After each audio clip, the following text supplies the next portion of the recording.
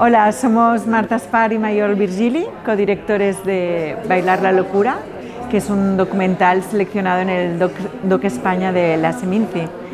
Y bueno, Bailar la Locura ah, es un documental que cuenta la historia de seis mujeres, tres bailarinas de danza contemporánea que se encuentran con tres mujeres con diagnóstico psiquiátrico para hacer juntas un proceso creativo que terminará con una coreografía de danza.